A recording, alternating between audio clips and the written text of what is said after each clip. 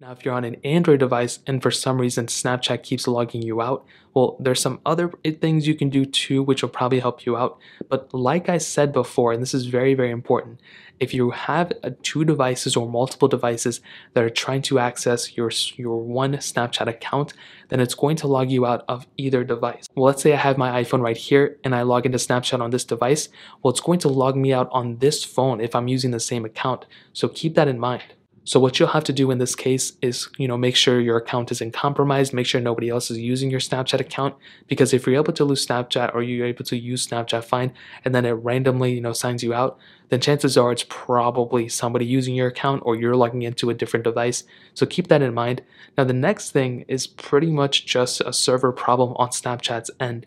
So a great way to tell, like I said before, look in the comment section of this video, sort the comments by newest and comment down there too if you're experiencing these problems and see if a lot of people are commenting at the same time. If they are, then Snapchat servers are down and they're going to log everyone out for some reason. But let's say that doesn't seem to be the issue and Snapchat is just continuously going bad, then what you can do at this point is pretty much make your way over to your App Store or your Play Store in this case, and you want to update Snapchat as stated before. So go ahead and go into your Snapchat app just like this.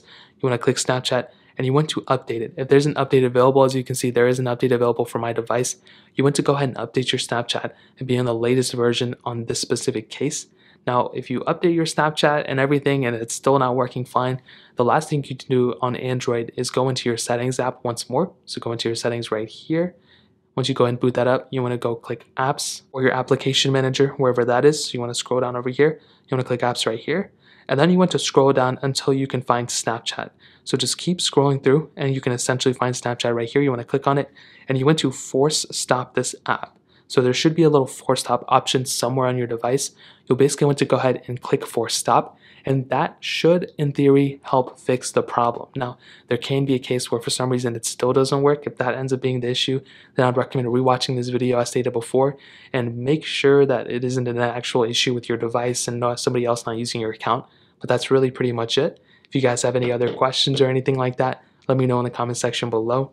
Hit the like button, that would mean so much, but definitely hit that subscribe button. Every single subscriber that we get really does count, so it means so much if you guys can hit that. Also check out the other links down in the description as well. My Twitter, my Instagram, my other channels. More importantly everything I love every single one of you guys. Hopefully I'll catch you guys in the next video. Peace out till then.